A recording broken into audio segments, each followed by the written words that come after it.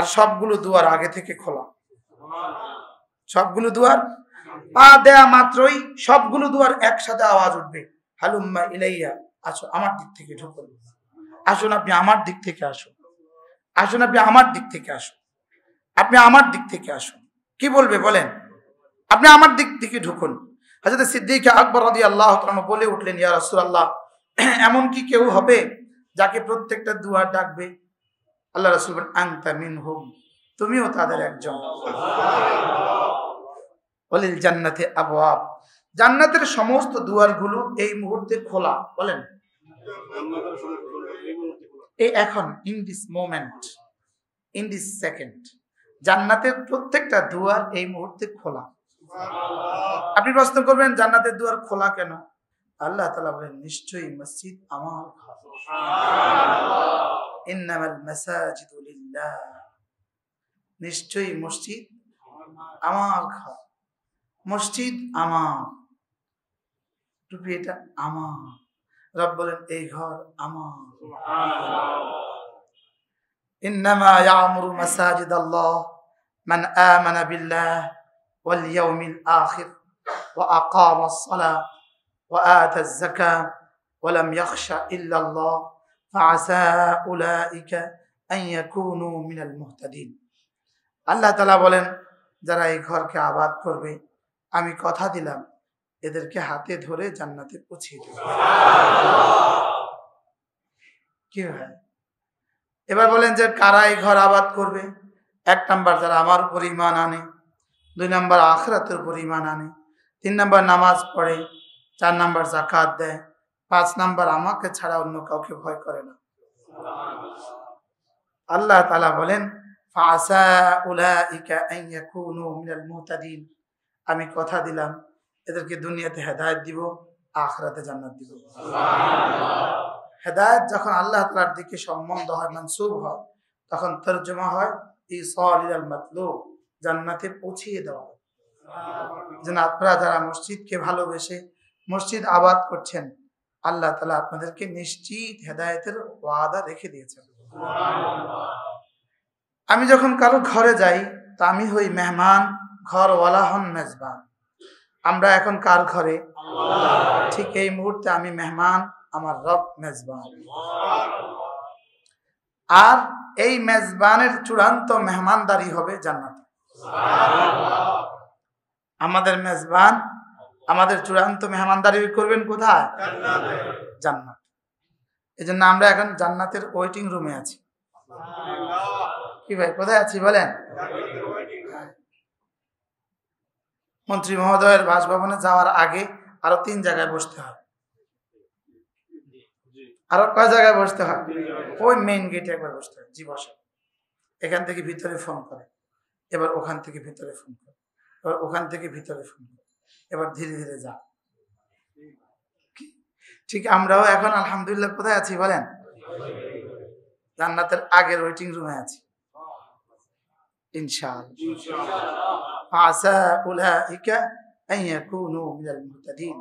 আমাদের রব আমাদের মেজবান, আমরা রবের মেহমান।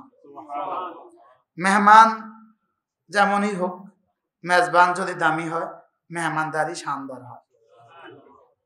কি? আর যদি মেহমানও দামি হয়, মেজবানও দামি হয়, তো মেহমানদারি কেমন হয়? কি হয়? এজন্য আল্লাহ তালা আমাদেরকে তার ঘরের মেহমান বানিয়েছেন। এটা চূড়ান্ত মেহমানদারির ভূমিকা। এটা চূড়ান্ত মেহমানদারির কি? এই ঘরের সাথে যার সম্পর্ক, নিশ্চিত জান্নাতের সাথে তার সম্পর্ক।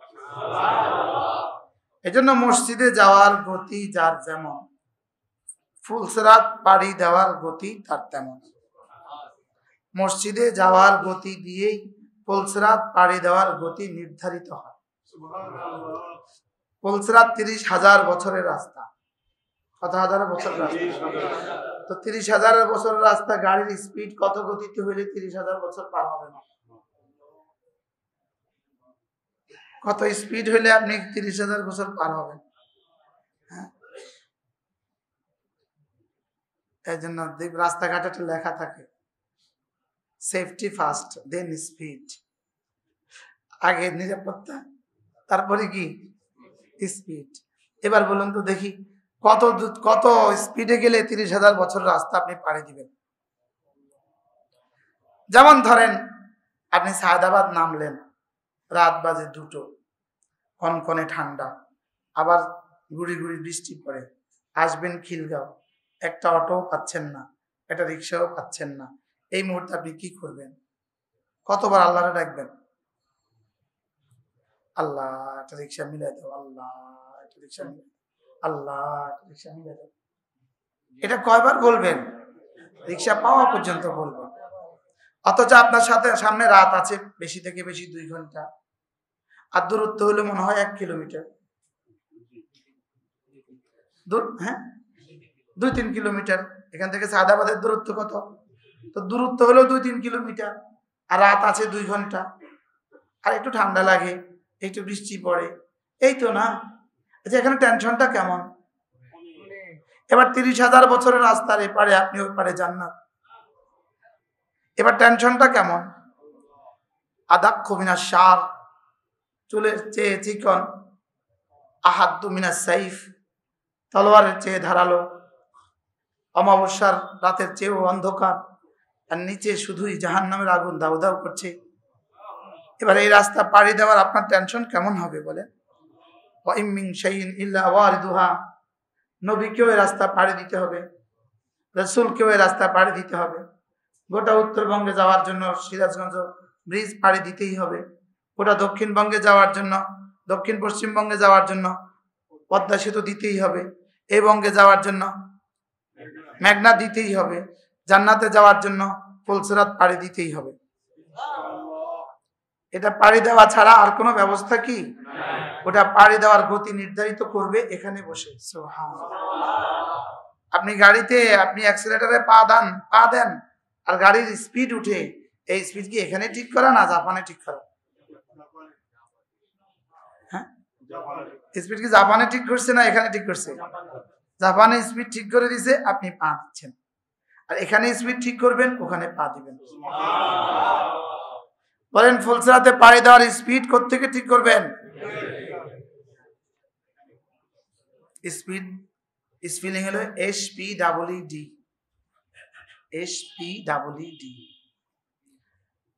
আমার গতি ঠিক করবেন থেকে এখান থেকে না ওখানে গিয়া? এবার, ইন্না কাদরাল আন্না কাদরা মাসিকা ইলাল মাসাজিদ কাদরু মাসিকা আলা সিরাত মসজিদে যাওয়ার গতি তোমার যেমন জান্নাতে যাওয়ার গতি তোমার তেমন। মসজিদে যাওয়ার গতি যেমন পোলসেরাত পাড়ি দেওয়ার গতি তেমন। পোলসেরাত আমাদের ভাষায় হাদিসের ভাষায় এটা সেরত। এটা কি?